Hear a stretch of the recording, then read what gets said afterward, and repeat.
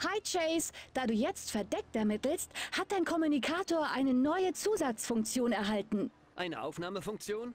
Damit ich Film-Noir-mäßige Monologe halten kann? Äh, nein?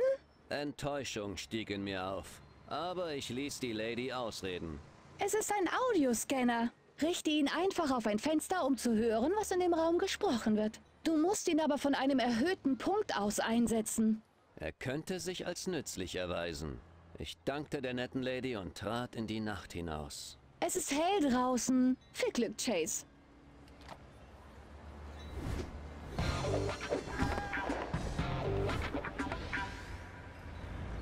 Ich sollte sehen, ob ich irgendwo Hinweise mithören kann.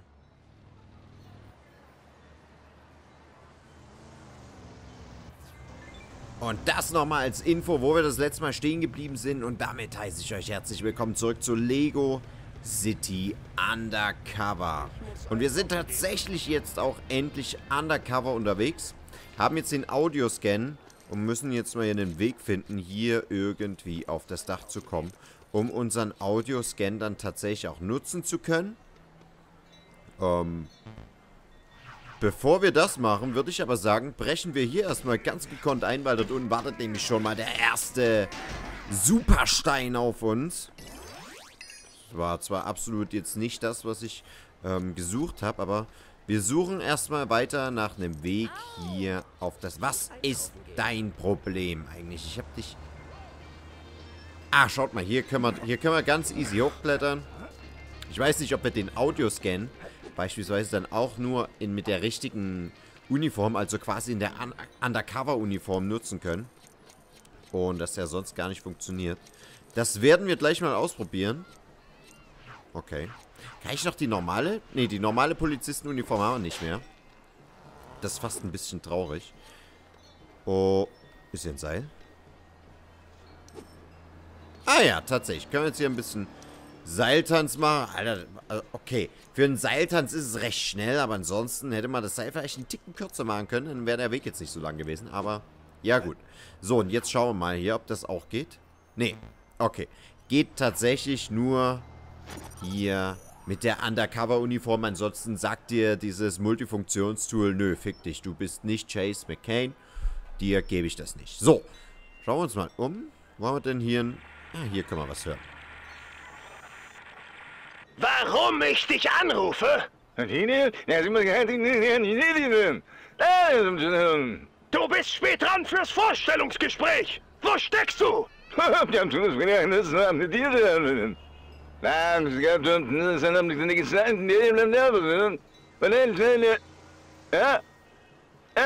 Komm sofort zu Chance Limousinenladen. Beeil dich, Mann. Glaubt man das? Dieser Bucky Butler? Das ist der, der in die Gang will? Genau, treibt sich bei der Galerie rum. Naja, da gibt's eine Menge toller kubistischer Skulpturen. Was meinst du mit kubistisch? Äh... Alles klar. Bucky Butler, der klingt auf jeden Fall... Der klingt leicht russisch. Also. Also, also, so komme ich vielleicht in die Gang. Also das war jetzt gerade sehr, sehr merkwürdig, die Sprache von dem äh, Gegenüber am Telefon. Wahrscheinlich hat man es so gemacht, ähm, einfach weil, ja, das war halt am Telefon, im Normalfall hörst du das dann nicht, aber ja, irgendwie dieses, dieses Genuschel, das, das hatte irgendwie gewisse Ähnlichkeiten der russischen Sprache. Also, so, sorry an alle, die der russischen Sprache mächtig sind, mir jetzt sagen, äh, absoluter Käse, was du hier laberst. Aber irgendwie für mich war das jetzt so. Wir machen also ein auf Bucky Butler. Wo ist mein Fahrzeug? Das habe ich da hier hinten, glaube ich, irgendwo abgestellt. Genau. Auf jeden Fall, ja, das war irgendwie ein sehr, sehr interessantes Telefongespräch. Ich weiß nicht, ob wir direkt das Richtige gefunden haben, weil es gab ja dann noch zwei andere Optionen. Ja. Kann sein, dass die zwei anderen Optionen dann eher falsch gewesen wären. So, räumen wir ja erstmal ein bisschen auf. Ja. Jetzt geh doch mal aus dem Weg! Ich habe übrigens so ein bisschen das Nitro für mich äh, gefunden. Ja, ich musste ja den Weg nochmal hierher fahren. Weil äh, hat halt nicht zu, zu Missionsbeginn gespeichert, deswegen musste ich halt den Weg, wie gesagt, nochmal hierher machen. Okay, äh, wir entdecken hier aber immer mal wieder was, ja. Und wenn es hier auf der Karte irgendwas gibt, dann sollten wir, denke ich, Ah, schaut mal, das können wir ja aufsprengen. Haben wir hier irgendwo einen Dynamitauto... Warten, nee, aber wir haben hier was zum Scannen. Vielleicht finden wir damit Dynamit und können dann die Bude dort aufsprengen. Das wäre doch was. Das würde mich... Geh weg, Alter. Ich muss hier ermitteln und du läufst hier über meine Spuren drüber. Es kracht gleich. Unter dem Blumentopf? In der Eismaschine mal wieder? Ja, in der Eismaschine mal wieder. Hier haben wir Dynamit drin. Nee, hier haben wir einen Schlüssel drin. Okay. Ah, und damit kommen wir hier rein und hier ist so eine so eine Rex Fury Statue. Das ist mir gar nicht aufgefallen, aber ich wollte eigentlich eher da drüben rein. Ach komm, hier brauchen wir auch Dynamit. Na, aber dann muss da hier ein Dynamitautomat in der Nähe sein. Jawohl, ja mein. So, wir haben es jetzt mal gelernt. Wir brauchen eine Spitzhacke für Dynamit. Ich finde im Übrigen schön, dass wir immer wieder einen Lego-Schein reinstecken. Der uns aber von nirgendwo abgezogen wird. Und äh, wir aber trotzdem noch Lego-Scheine als Rückgeld bekommen. Mehr oder weniger könnte man meinen, dass es Rückgeld ist. Silberstatuen zerstört 2 von 17. Gibt natürlich noch einen Goldstein und diverse andere Steine hier, die wir direkt noch be bekommen. Und dann würde ich sagen, holen wir uns gleich noch einen zweiten. Eine zweite Dynamitstange. In der Hoffnung, dass das Ding nicht hochfliegt. Wie gesagt, bei manchen, manche fliegen ja dann in die Luft. Was ist das hier eigentlich? Achso, können wir noch nicht nutzen. Und dann jagen wir mal die Tür hier gleich noch in die Luft. Ich will wissen, was ich mir jetzt hier drin holen kann. Achtung.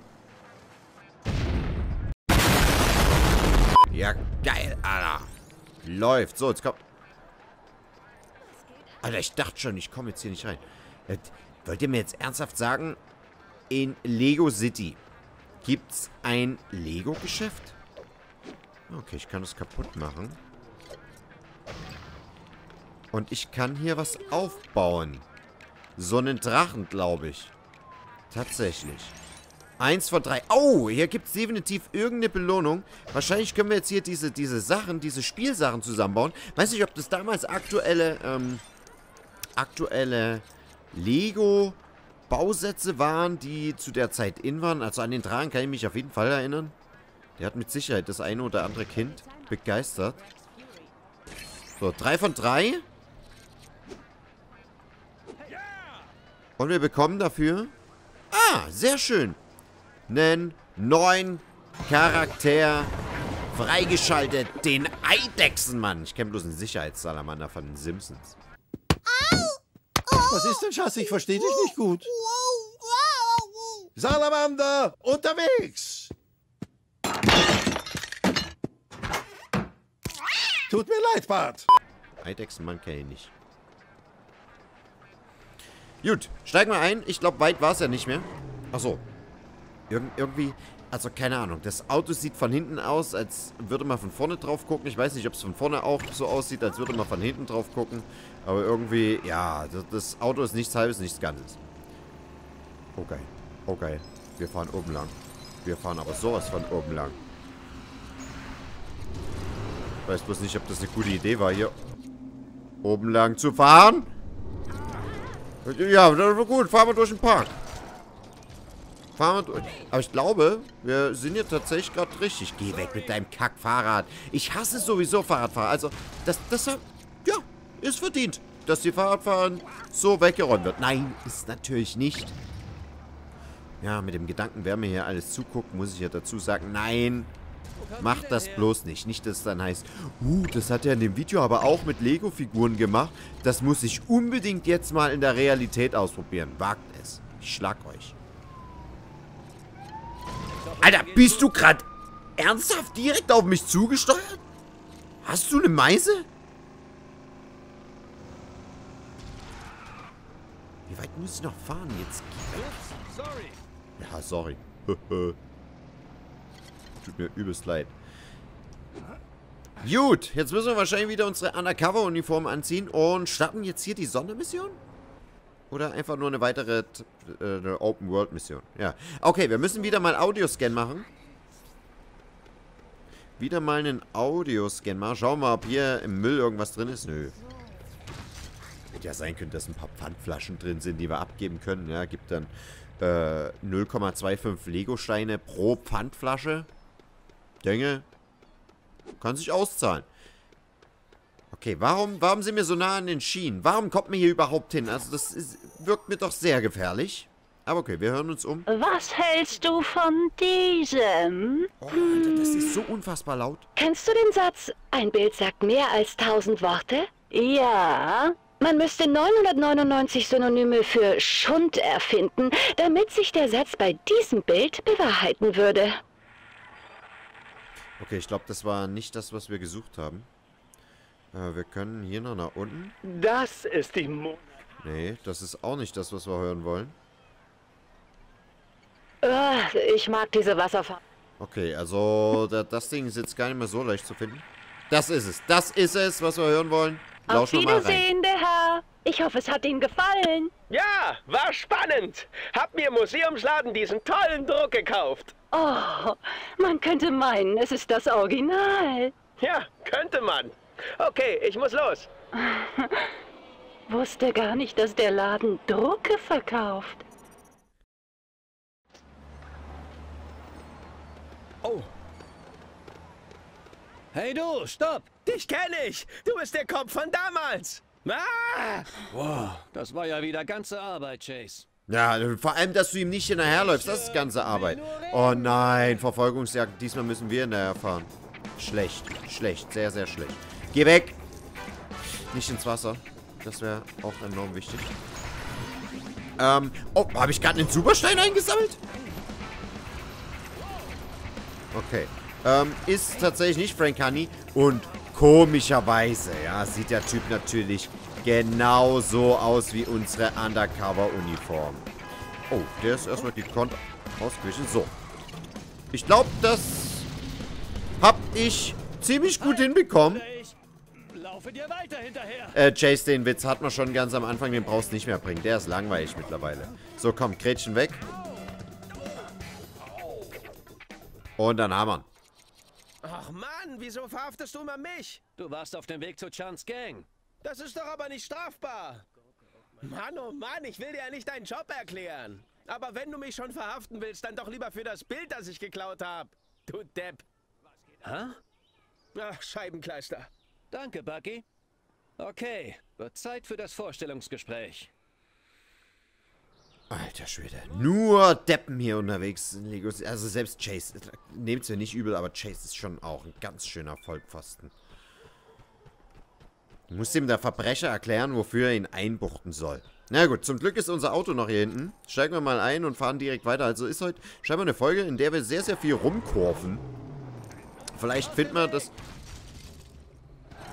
So, ich war von der Kanone abgelenkt. Ah, die Kanone kann ich noch nicht nutzen. Sonst hätte ich mir die jetzt definitiv mal gegönnt. Die sieht echt vielversprechend aus. Ich finde im Übrigen klasse, wenn, so, wenn diese Autos Herzen verlieren. Ja, dass die dann erstmal oben offen sind, so als Cabrio. Also wer, wer gerne im Cabrio rumfährt, der fährt erstmal irgendwo dagegen. Damit eben das Auto zum Cabrio wird. So, schön erstmal zwei Passanten überrollt. Alter. Was ist das hier? Also wir müssen uns hier definitiv ein bisschen umsehen. Man kann im Übrigen auch so rum in den Kreisverkehr reinfahren. Funktioniert. Ähm, sollte man allerdings auch nicht auch im realen Straßenverkehr machen. Also ein, sollte irgendjemand von... Oh, tatsächlich, wir haben gerade diesen Multiplikator. Das ist das, was mir mal gesagt wurde. Wenn ich hier ganz viele Sachen umfahre, bekommen wir diese Multiplikatoren. Und dann sammle ich mehr, mehr, mehr Steine ein. So, hier hinten haben wir wieder was zum Untersuchen. Schauen wir gleich mal, was es hier noch zu untersuchen gibt. Wenn es mir das schon anzeigt, na, dann müssen wir natürlich auf jeden Fall auch mal gucken. Hier können wir auch ein, eine Glocke hauen. Das muss ich mir merken. Mir zeigt es halt tatsächlich nur an, weil ich hier irgendwas untersuchen kann. Ja, mehr zeigt sie halt hier nicht an. Ich hätte jetzt gedacht, okay, vielleicht zeigt sie auch an, hier, da kannst du noch auf die Glocke hauen und so weiter und so fort. Nee. Will mich das Spiel jetzt im Kreis laufen lassen? Ah, hier.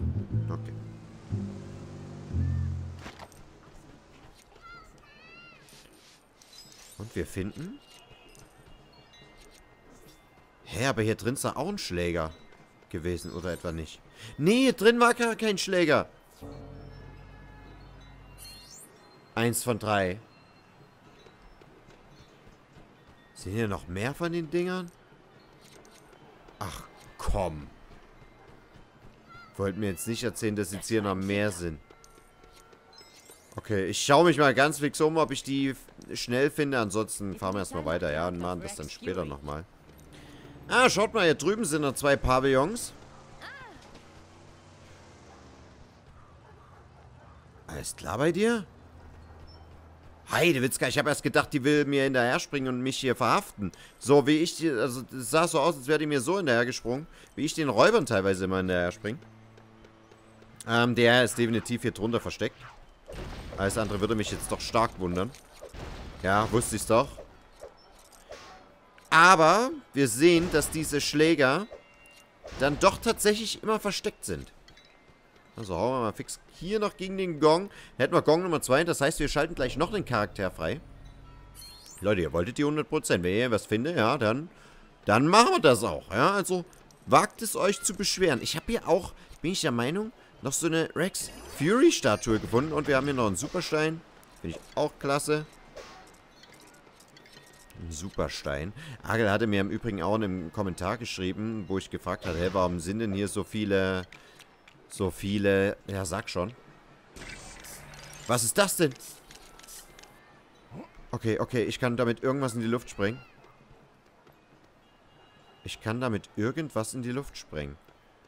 Agel hatte mir auch auf einen Comic geantwortet, weil ich ihm gefragt habe, hey, warum sind hier so viele Supersteine? Weil da in der Nähe irgendein Superbau ist, den ich dann irgendwann mal bauen muss. Da habe ich mir dann auch gedacht, ja super. Schön, dass ich äh, das Zeug auch so gerne mal ausgebe. So, wir müssen jetzt...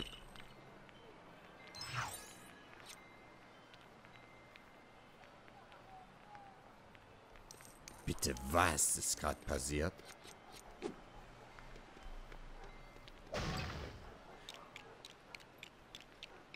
Hat er wieder dieses Ding zusammengebaut. Ich weiß halt nicht mal ansatzweise, wo das Ding hin muss. Dort oben gibt es den Superstein. Aber hier fehlt mir auch irgendwas, um überhaupt hier hoch ranzukommen. Ja, wisst ihr? Hier fehlt noch so ein Stein, den wir heranbringen müssen, damit wir überhaupt dort hochkommen. Und wohin muss ich denn das Ding bringen? Was ist das hier unten gewesen? War das ein Oktopus gerade? Nee, dort ist bloß ein Ausguck. Okay, ist in die Luft geflogen. Diesmal bin ich aber zum Glück nicht mit verreckt. Ah, und hier haben wir ein Gitter. Okay, hier ist... Das hat was mit der Bombe zu tun. Muss ich die Bombe hierher bringen? Wir versuchen mal die Bombe dorthin zu bringen. Vielleicht können wir dadurch das Gitter wegsprengen. Oh, komm mal mit, Kollege. Komm, Kollege Schnürschuh. Oder muss ich die Bombe dorthin tragen? Komm, trag mal diese scheiß Bombe hier.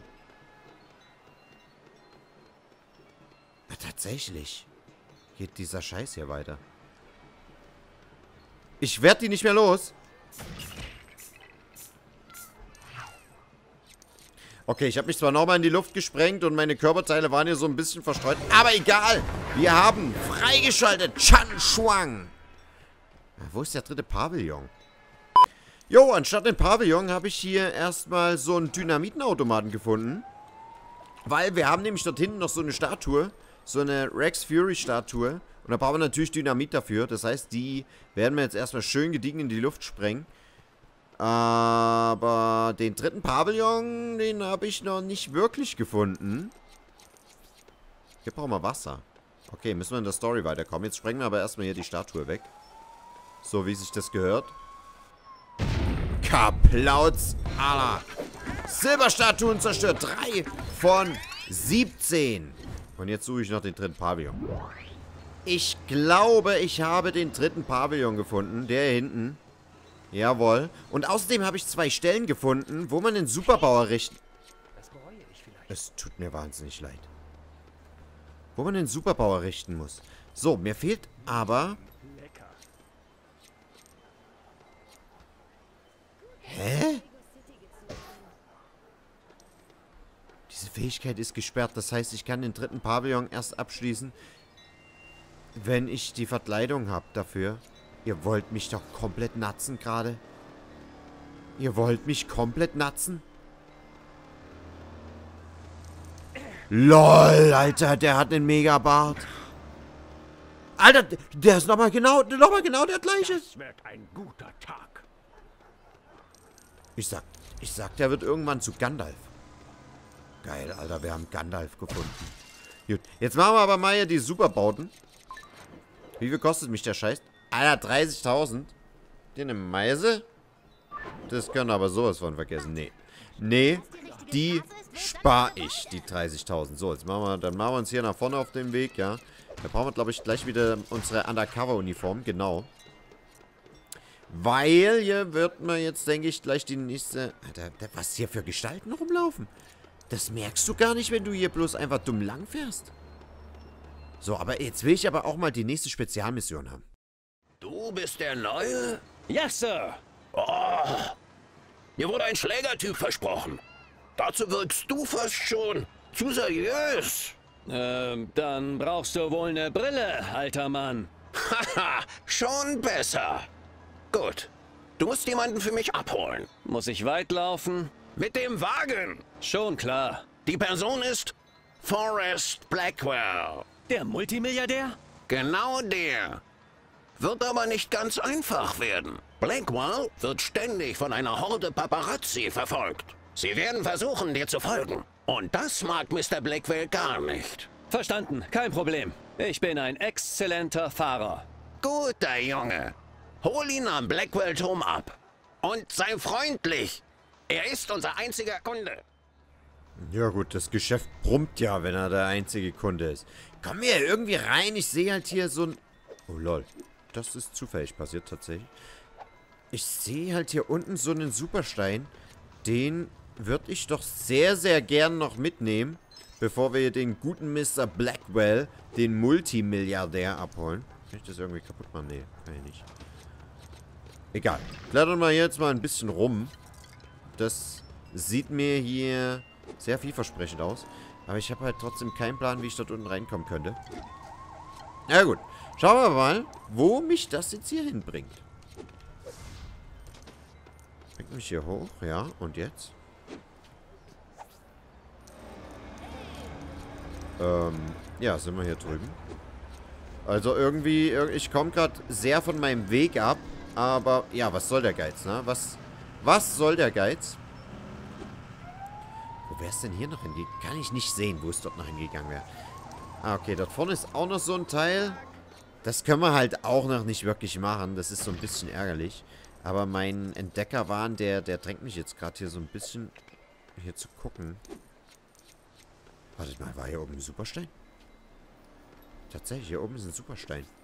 Komme ich an den vielleicht ran? Ja, an den komm mal ran, Alter. Löppt. Das ist aber fies. Ja, der Weg sagt dir, ja, geh mal ruhig weiter dort vorne. Nee, nee, nee, der Superstein ist aber hier. Alter, wo renne ich denn? Alter, da renne ich jetzt schon einen Ticken zu weit weg, muss ich ganz ehrlich gestehen. Komm, wir machen jetzt, wir machen jetzt die Mission. Und das können wir dann immer noch mal machen, ja. Wir schnappen uns jetzt den Wagen und dann holen wir mal hier den guten Mr. Blackwell ab. So, vier Herzen hat unsere Limousine. Äh, warum... Ich wollte gerade sagen, fokussierst du mal bitte ein bisschen. Diese Limousine sieht sehr, sehr schmal aus. Also, komfortabel ist was anderes. Wir müssen auf jeden Fall aufpassen, dass wir nicht zu viel Schaden kassieren mit dem Ding. Aber ist ähnlich wendig wie die anderen Fahrzeuge. Und wir haben nur begrenzt Zeit, sehe ich gerade. Haben wir Nitro? Ne, wir haben auch kein Nitro hier drin. Das ist natürlich noch ärgerlicher. Nächste Frage wäre, ähm, die Karren bekommen ja hin und wieder Schaden, ja? Haben wir ja schon das eine oder andere Mal gesehen bei mir. Gibt es irgendwie eine Möglichkeit, die zu reparieren? Oder erst, wenn man die dann neu ruft oder das Ding halt komplett kaputt gegangen ist? Oh, du stehst ja fast im Weg, Kollege. Pass mal bitte auf. Wie weit ist der Weg? Wenn wir zwei Minuten haben, es ist ja jetzt mehr oder weniger nicht mehr unsere allererste Automission. Von daher gehe ich von aus, dass die Zeit mittlerweile schon etwas knapper bemessen ist. Schauen wir mal. Jetzt räumen wir erstmal die, die Bullen ab. Diese elenden Drecksbullen. Komm, verpiss dich. Schön gegen den Bus geschoben. Das schmeckt dem Motorradfahrer. Geil. Kann ich hier das Ding abbauen? Ja, ich hatte kurz Angst, dass ich mir mein Fahrzeug damit kaputt mache. Wir sehen hier die ein oder andere Rufsäule. Wird aber nicht abgebildet auf meiner Karte. Ach komm, verpiss dich. Können wir nicht jetzt hier rechts rein? Ja, guck mal, warum soll ich denn so rumfahren? Das macht ja überhaupt gar keinen Sinn. Blackwell, Blackwell! Hier drüben, Forrest! Blackwell! Ein Bild bitte! wie wär's mit einem Foto? Forrest! Wie wär's mit einem Foto? Mr. Blackwell, haben Sie den Skandal schon verkraftet? Wieso lassen Sie niemanden mehr in Ihren Turm? Schämt sich da. Stimmt es, dass Sie Katzen lieber als Hunde mögen? Ich bitte Sie, respektieren Sie Mr. Blackwells Privatsphäre. Er will doch nur aus komplett geheimen Gründen, die Sie nichts angehen, zu einem vollkommen mysteriösen Ort. So, jetzt werde ich verfolgt? Fragezeichen. Wohin darf ich Sie fahren, Sir? Sehr aufmerksam, junger Mann. Ich wünsche eine der letzten Aufführungen des Stücks Geil. Der ewig volle Briefkasten im Gillespie-Theater zu besuchen. Ich hoffe, man hat Ihnen von meiner Abneigung gegenüber den Paparazzi berichtet. Jawohl, Sir. Ich werde Sie nach Möglichkeit abschütteln. Ich bin mir bewusst, dass es dafür, nun sagen wir mal, eher unkonventioneller Fahrmethoden bedarf. Könnte etwas ungemütlich werden. Oh, machen Sie sich meinetwegen keine Sorgen. Ich habe den Ritt auf Wüstenschiffen überstanden und viel unbehaglicher für mein Hinterteil kann diese Fahrt jetzt auch nicht werden. Okay, also diese, diese Entspannungsmusik im Hintergrund, der Typ in dem Auto, passt absolut nicht dazu, dass ich jetzt hier Sind Sie denn auch ein Freund der aggressiv fahren muss. Ähm, es Geil, wie ich den eine Show wegräum. im Fernsehen, wo Sie alten Trödel kaufen. Ein wahrer Kenner. Ha! Ah! Gott, Alter. Ich hasse solche Schnösel, richtig sehr. Also ich weiß nicht, wie es mit euch aussieht, aber ich kann mit solchen Also, Schnöseln Darf absolut ich nichts fragen, anfangen. worum es in dem Stück geht? Behörden, Regulierungen, Bürokratie. Das übliche Leid des Kleinbürgers. Kannst du mal blinken, wenn du die Spur Ach, wechselst? Schande, wenn Dummköpfe einem den Plan vereiteln. Aber was soll man machen? Das Leben geht weiter. Oder Das man wird Leben verrückt. geht weiter. Ja. genau. Verrückt. Oder Okay. man erledigt die Sache hinter dem Rücken der Dummköpfe, ohne dass sie es mitbekommen. Der Kollege Der scheint verrückt zu Weg. sein. Unter uns gesagt, der Weg, den ich bevorzuge. Ich auch. Ich hoffe jedenfalls, Ihnen gefällt das Stück. Danke. Ich gehe davon aus, dass dies meine vorerst letzte Chance sein wird, eins zu sehen. Ich begebe mich bald auf eine lange Reise. Ich die ganzen Leute hier abräume. Ich finde das so geil. Könnte fast sagen, unnormal belohnt. Wir haben es problemslos geschafft, den Kollegen Unsere abzuliefern. kleine Reise neigt sich nun dem Ende zu. Warten Sie nicht auf mich. Ich werde auf andere Art nach Hause gelangen. Leben Sie wohl. Auf Wiedersehen, Sir. Ja, okay, aber dort erkennt ihn jetzt niemand auf der Straße. Na gut, wir haben den guten Multimilliardär, ich habe schon wieder seinen Namen vergessen, also so wichtig kann er nicht sein. Äh, haben wir abgeliefert und... Du bist ein wirklich hervorragender Fahrer. Und dein Mangel an Respekt gegenüber der Straßenverkehrsordnung rundet das Bild deines Gangsters ab. Danke. Ich hasse die Verkehrsordnung. Ich habe so eine Ahnung, dass du genau die Sorte Typ bist, die wir suchen. Schon mal was geklaut? Ein paar Stifte? Tausend Stifte. Von einem Kind. Das humpelte. Hervorragend.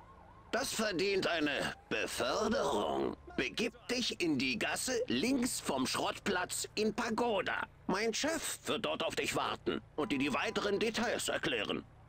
Dann mal auf zu Mr. Chan. Alles klar, auf zu Mr. Chan. Das machen wir dann aber beim nächsten Mal für heute. Was ist mit Lego City Undercover? Wir haben auch viel abseits der Story versucht zu erkunden. Viel ist nicht bei herumgekommen, weil... Ich bin blind, Alter. Ja, aber ist halt so. Und schauen uns dann das nächste Mal um, was die Story dann für uns bereitet. Ich bedanke mich dafür, dass ihr dabei wart. Hoffe, es hat euch gefallen. Dann schaltet gern wieder ein hier zu Lego City Undercover. Bis dahin. Macht's gut.